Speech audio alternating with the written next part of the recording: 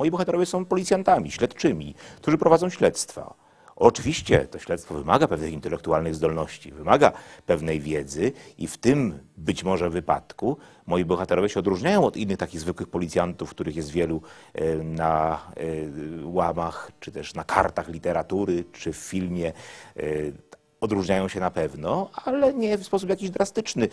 Jeśli się przyjrzymy bohaterom literackim w literaturze kryminalnej, oni, wszyscy- oni wszyscy są błyskotliwi, oni wszyscy są niezwykle inteligentni, e, a zatem mm, to im pomaga prowadzić, iść tropami, wychwytywać e, rozmaite zależności między zdarzeniami, w ten sposób budować sobie rozmaite detektywistyczne hipotezy.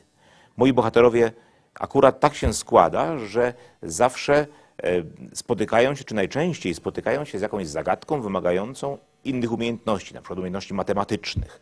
Tak było w powieści e, liczby Harona, czy też e, w tym wypadku, w wypadku powieści Rzeki Hadesu, do zagadki, do rozwiązania zagadki prowadzi pewna pewien, pewna substancja chemiczna. Więcej już nie mogę powiedzieć, bo byłbym nierozsądny, gdybym zdradzał takie szczegóły kryminału, już nie mówiąc, nie mówiąc o tym, że autor kryminału nie może powiedzieć w wywiadzie, kto zabił. Moje opisy są naturalistyczne, to prawda, ale wynika to stąd, że ja jestem miłośnikiem szczegółu, że szczegółowo opisuję świat i to zarówno jego przyjemne aspekty, jak na przykład kulinaria, jak również aspekty nieprzyjemne, makabryczne, bo to jest po prostu differentia specifica mojej twórczości. Dokładność, szczegółowość opisu.